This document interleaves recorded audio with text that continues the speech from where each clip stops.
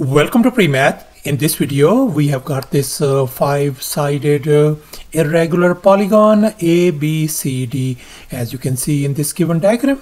And this uh, five-sided polygon is also called an irregular pentagon. And moreover, uh, this segment uh, AB is 5 units.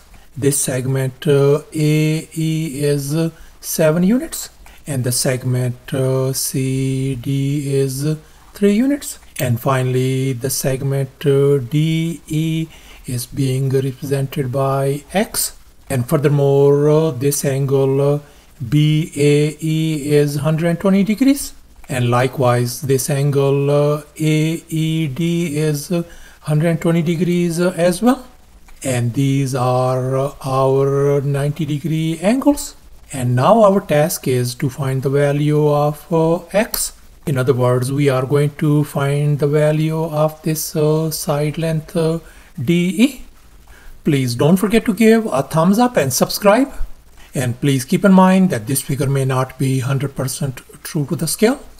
Let's go ahead and get started. And uh, here's our very first step. Let's focus on this uh, angle ABC. This is our right angle which is 90 degrees. And furthermore we know this angle is 120 degrees and this angle is 120 degrees as well. So therefore we are going to think outside the box to make our job simple.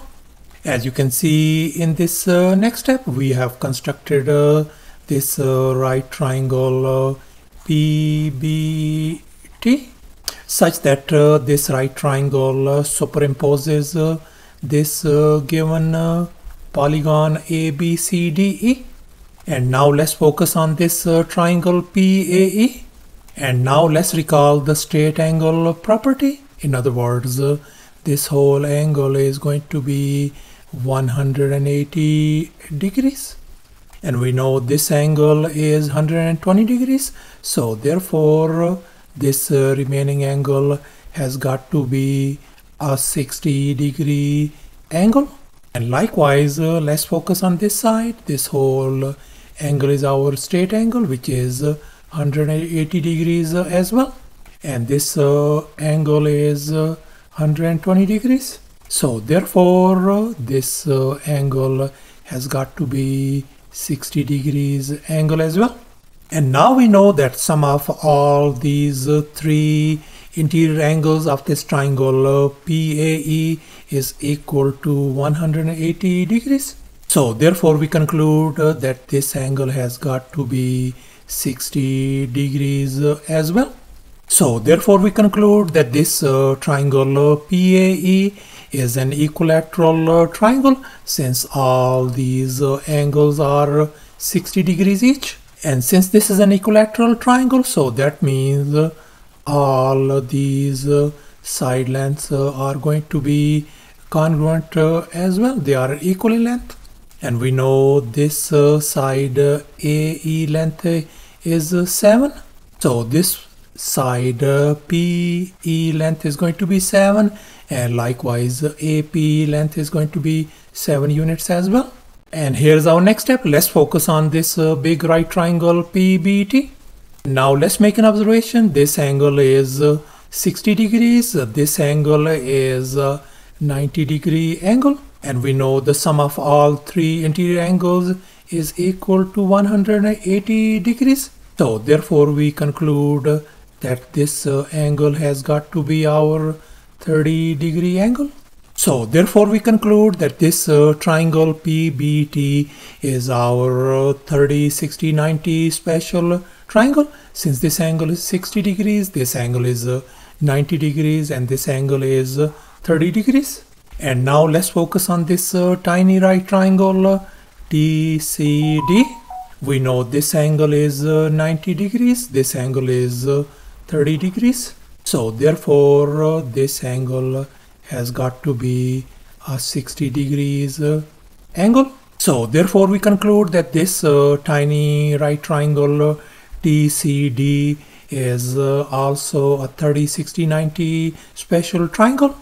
And now let's make an observation. We can see that this whole uh, side PB length is going to be 7 plus 5 is going to give us uh, 12 units. Before we proceed any further, let me go over the basic uh, review. And now let's focus on this uh, special uh, 30, 60, 90 triangle ABC. And now let's make an observation. We can see 30 degrees is our smallest angle, whereas uh, this uh, angle is 90 degrees, and this is our largest angle. So therefore, uh, the side opposite to this smallest angle is going to be our uh, smallest leg. And likewise, uh, the side opposite to this uh, largest angle is going to be our longest leg, and that is also called the hypotenuse. So in such kind of special 30, 60, 90 triangle, the longest leg is always twice the smallest leg. If the smallest leg is 1, then the longest leg has got to be 2 and this uh, third leg is going to be square root of uh, 3.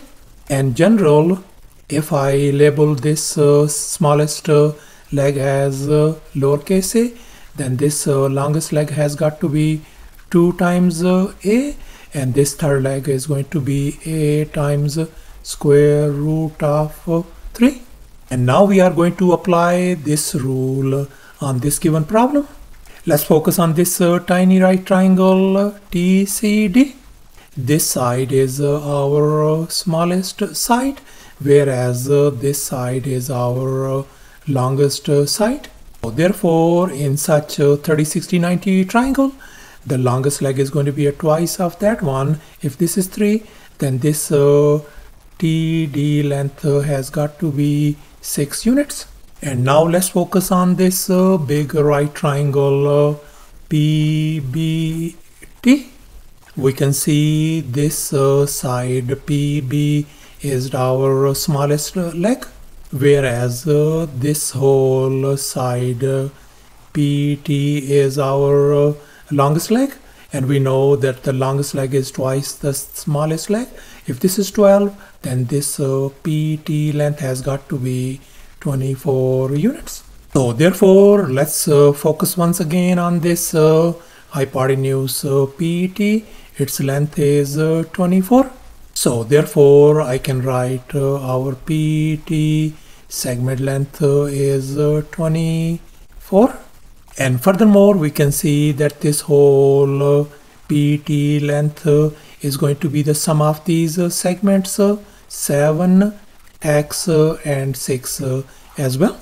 So therefore once again I can write PT segment length is going to be the sum of these individual lengths 7 plus x plus 6 let's simplify. We can write uh, our PET length has got to be 6 plus 7 is going to give us uh, 13 plus uh, x. And now we can see our uh, PET length is uh, 24 and furthermore PET is 13 plus x uh, as well.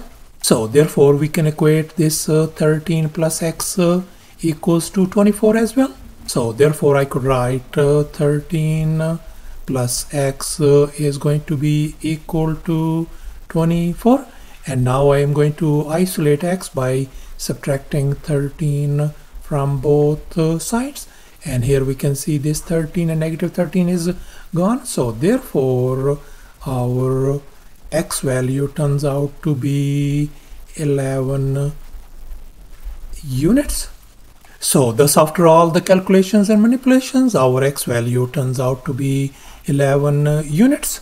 In other words, our this uh, x value is going to be 11 uh, units. And that's our final answer.